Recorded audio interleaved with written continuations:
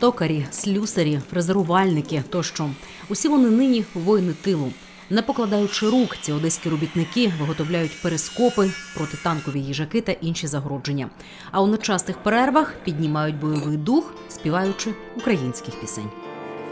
Ой, лузі червона калина похилилася,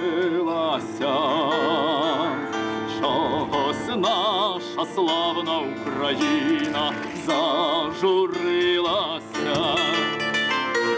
А ми тою червону калину підіймемо, а ми нашу славну Україну гей розвеселимо. Инструкция идет. В полном сборе она, наверное, уже на, на месте формируется. Ну, это вот запчасти, скажем так. Это сантехническая труба или десятка. Два сантехнических уголка и два зеркала. И, в принципе, все работает. Первый, второй день у всех был определенный шок, все сидели, новости читали. Потом приш- пришло понимание, что надо с этим что-то делать. А, Надо, значит, логичный ответ, надо помогать нашим. Помогать им побеждать.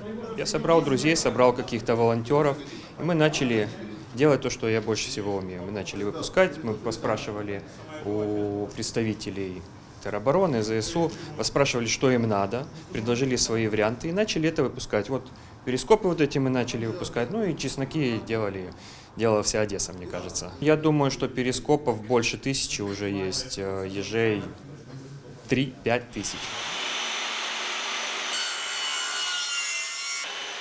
У нас проблема с э, вот этими уголками. То есть мы их можем производить еще, но у нас э, заканчивается каждый раз сам уголок. Это 50 на 90 градусов. Обычный канализационный э, уголок, он в принципе обычно есть везде, но сейчас все закрыто. Одеса повертається до звичного ритму життя, тож ближчим часом цю проблему можна буде легко вирішити.